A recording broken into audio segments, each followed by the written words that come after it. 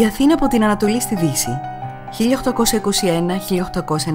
1821-1896 Ένα ντοκιμαντέρ της Μαρίας Ηλιού που διηγείται πως μια μικρή Οθωμανική πόλη μεταμορφώθηκε στη νεοκλασική Αθήνα των πρώτων σύγχρονων Ολυμπιακών Αγώνων. Αφηγήσεις, μουσική της εποχής, άγνωστες γραβούρες και φωτογραφίες από τρεις υπήρους.